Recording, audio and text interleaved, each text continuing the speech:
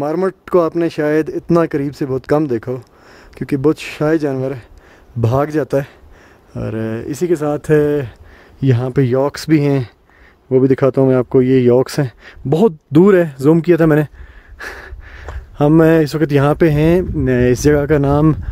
जैन से फिर निकल गया नागा पर्वत के दामन में है ये मैदान